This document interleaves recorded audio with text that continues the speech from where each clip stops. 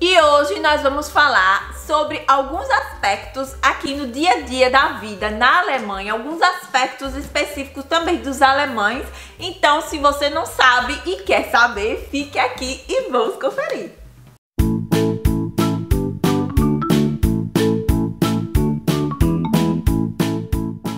Olá, gente, sou a Adriana do canal Vivendo na Europa e hoje eu quero compartilhar com vocês alguns aspectos do dia a dia, do nosso dia a dia como imigrante morando aqui na Alemanha, algumas coisas que acontecem que você acaba adquirindo uns hábitos e outros que já são sugeridos, né? O primeiro deles, vamos lá.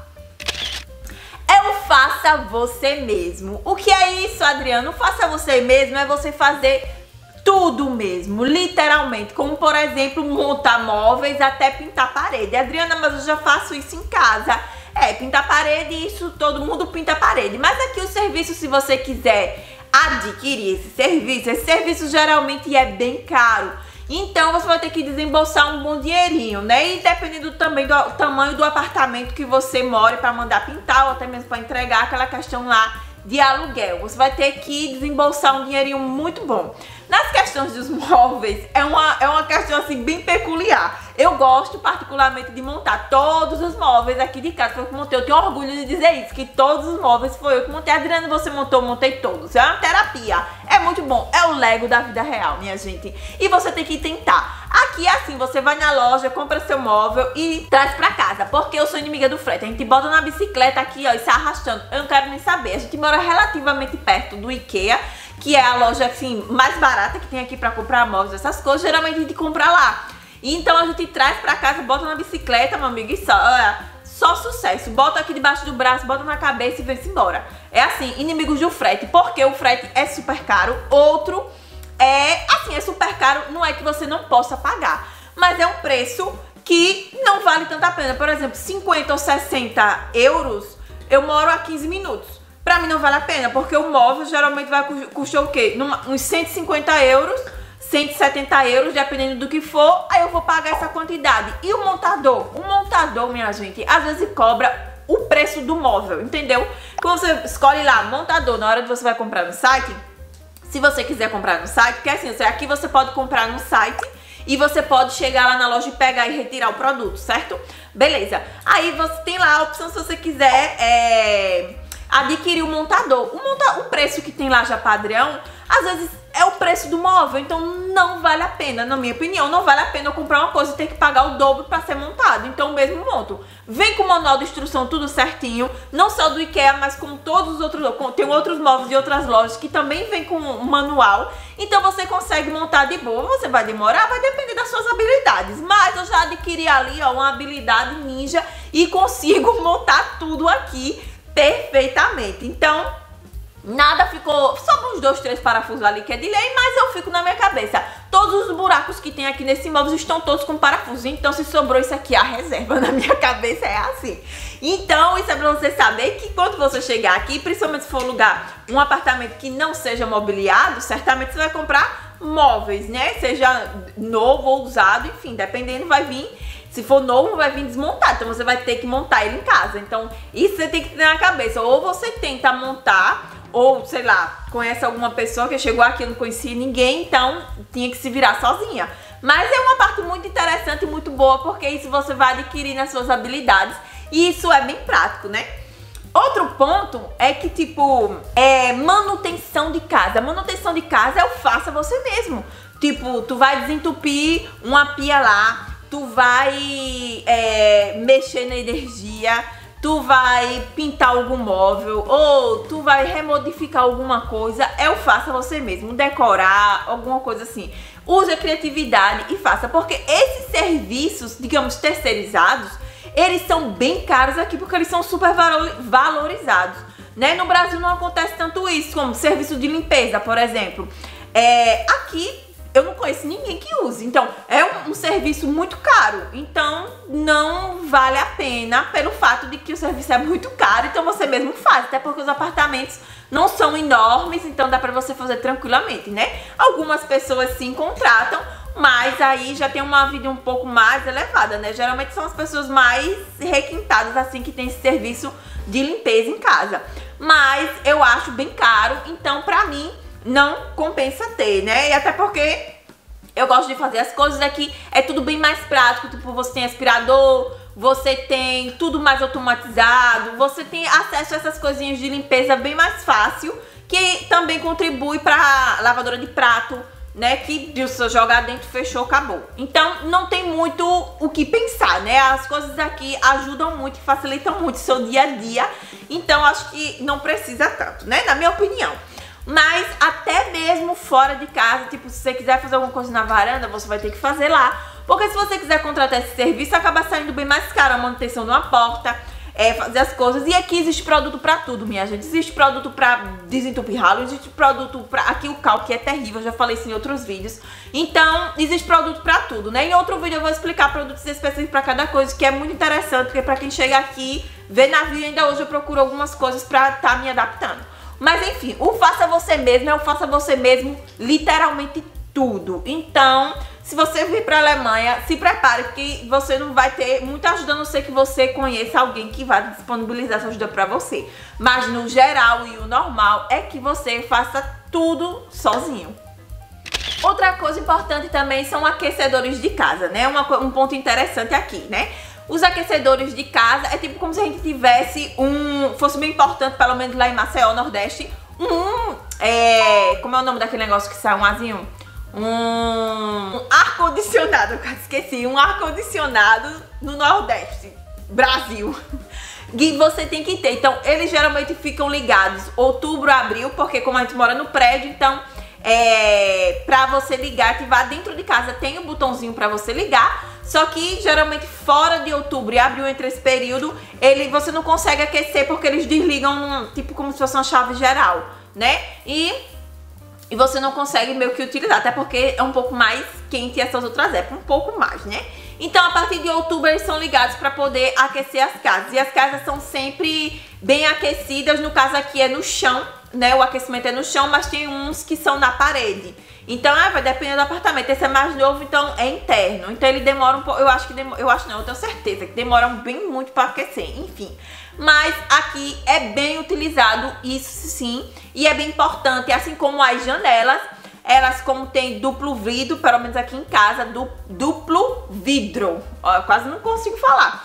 Elas vedam muito bem e mantém a casa super aquecida. Mas lembre-se que isso também é uma adaptação que você tem que ter. Sempre tem que abrir a porta que as portas daqui também é uma iguaria, né? Elas ficam entreabertas pra só ventilar, que isso eu acho muito bom, porque no Brasil você abre tudo ou você fecha tudo, você não tem o meu termo, se quiser meu termo você vai ter que escorar com alguma coisa, né? Mas aqui eu acho muito bom também, né? E eu gosto muito dessas caixas do janelão por causa da luz, porque aqui o inverno é praticamente um ano inteiro, né? Ficar frio praticamente um ano inteiro, uns dois meses só de calor rachando, que ano passado nem teve. Mas enfim, é, e fica aqui a janela você faz isso pra poder dar uma renovada no ar com essa questão do aquecedor, porque fica muito muito seco, né? Você fica respirando muito ruim. Então você tem que dar essa ventilada assim, né? Então as coisinhas que a gente consegue aprender, porque na primeira vez que, que vim pra cá, ligou o aquecedor, acordei toda suada, parecendo que eu tava numa maratona, porque você tem que dar, botar lá no mínimo, enfim, você vai se adequando lá à temperatura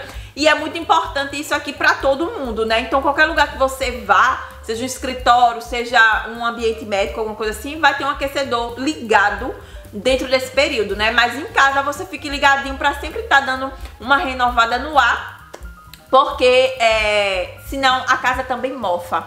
Tem isso também, né? Durante todo o ano, geralmente a casa fica fechada. Então as casas que tendem a ter mofo né, por conta da umidade, aí, né, fica aquecido dentro de casa, então tem uma proliferação muito grande de mofo. Então, se você não tem uma ventilação já dentro de nesse apartamento tem uma janelinha, né, que já tem uma ventilação própria para isso. Mas em outros não tem, então você tem que dar sempre aquela aberturinha durante uns 15, 20 minutos para poder dar uma resfriada dentro da casa e não gerar esse mofo dentro de casa, que vai ser muito ruim depois para você tirar, porque o faça você mesmo se enquadra aí também, porque depois você vai ter que limpar. Outra coisa importante é que também a gente tem água aquecida nas torneiras, todas de casa, da pia de lavar prato, da pia do banheiro, no chuveiro. A água é aquecida durante todo o tempo. Não como os aquecedores que tem uma época que liga e desliga geral. Mas dentro da sua casa você tem todo, durante todo o ano, a água quente e fria é, nas torneiras normais, seja de lavar prato, seja no banheiro de lavar as mãos ou até mesmo no chuveiro. Não existe essa época de você ligar e desligar isso aí. Isso aí fica ligado constantemente, então você pode usar da maneira que você quiser, né? Então, o quente geralmente, a água quando tá fria é fria mesmo, parece que vai necrosar o dedo. Então você deixa ela no morninho durante as outras épocas do ano, que tá super ok e é o normal usar aqui. O balcão das casas, que o balcão é a varanda, né? é, são super importantes no período do que não tá inverno, porque eles são muito usados. Falei churrasco, já fiz vários churrascos. Quem acompanha lá nos stories do Instagram sabe lá as fotinhos de churrasco. Né, tomar uma cervejinha, tomar até mesmo sol ou até mesmo trabalhar, que muitas pessoas trabalham de casa.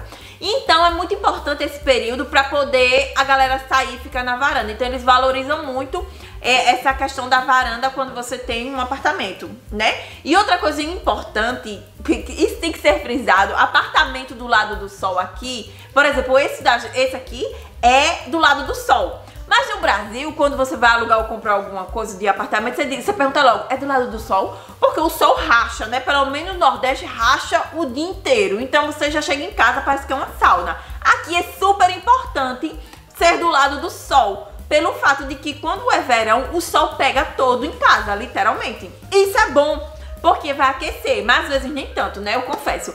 Mas nas outras épocas do ano também, porque qualquer luminosidade e sol vai chegar nesse apartamento, porque o apartamento fica frio se você não ligar o aquecedor. Eu não ligo o aquecedor todos os dias. Então, essa, essa, essa, esse sol que vai entrar assim, é super importante. Os apartamentos que não tem sol, que não são do lado do sol, eles sofrem um pouquinho durante, durante o, o verão. Porque você vai pegar sol lá de manhã e de tarde já não vai ter mais sol. Então passa. Como aqui a, o verão fica à noite 10 horas da noite, que fica à noite escuro, então você vai ter que você aproveita esse tempo todo de sol, entendeu? Não é 5 horas da tarde, 6 horas já está de noite, 10 horas da noite ainda tá de luz, tem luz, tá quente o sol ainda, então vai aquecer muito bem. Então é bom pensar sempre aqui, porque na realidade Berlim não tem muito como você escolher o tipo de apartamento, porque aqui, meu amigo, é uma agonia para você poder alugar, porque literalmente assim é correr para chegar a ser o primeiro e tentar alugar. Enfim, mas isso aí já é outro episódio, outro, outro episódio para outro, outro vidinho. Mas se você conseguir e tiver a opção de escolher entre ser do lado do sol e não, pegue sempre do lado do sol. Porque quando não é, literalmente você perde o verão todo porque sua varanda vai ficar é, sem sol, né? E você não vai ficar ter como tomar o sol na sua varandinha. E aqui eles valorizam muito isso de estar tá no sol, tomar cervejinha, fazer churrasco aqui é super normal e comum. E eu super indico fazer isso também porque eu faço também, né? Temos nossa churrasqueira compramos as nossas carninhas, fazemos lá a cervejinha, tudo certo. E outra peculiaridade bem importante é que no Brasil a gente Casa você vai procurar pelo número, certo? Apartamento também é pelo número, né? Quando o carteiro, por exemplo, vai lhe entregar, ou até mesmo você vai passar o endereço para algum amigo chegando na sua casa. Aqui é na porta, tem um nome embaixo no prédio, na campainha tem um nome, você bota lá o nome da pessoa e vai achar, vai clingar lá, clingar, tocar e vai chamar a pessoa, certo? Pelo nome, não pelo número né? Porque geralmente você vai lá e vai pelo número. Aqui nesse apartamento é incrível que eles botaram um número depois na porta. Mas, mas tem um nome na porta, na campainha tem um nome das pessoas. Um, um, na realidade, não é o seu nome aqui que eles usam, é o sobrenome. Então, o sobrenome das pessoas que usam aqui, aqui em casa tem dois sobrenomes diferentes. Então, os dois sobrenomes ficam na porta diferentes por causa das encomendas que chegam aqui. Então, o seu primeiro nome, na realidade, não vale de nada. O que vale é o seu sobrenome aqui. As pessoas aqui, quando você chega no consultório médico, por exemplo, alguma coisa do tipo, chama pelo seu sobrenome, não pelo seu nome, entendeu?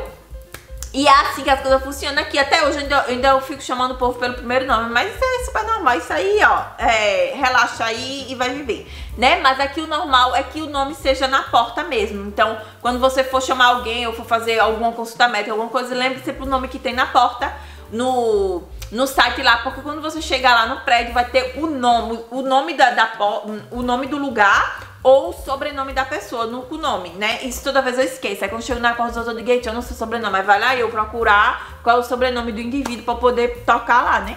Porque senão não consegue. Então aqui é o normal ser o, no, o, o sobrenome das pessoas na porta, assim como na caixa dos correios também é o seu sobrenome.